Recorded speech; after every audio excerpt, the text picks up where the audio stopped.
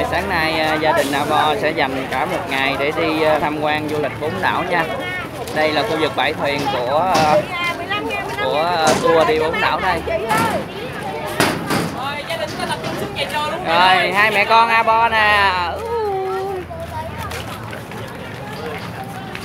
Cái anh này giống như anh đi chợ quá, anh xách theo cái cái, cái nách kìa.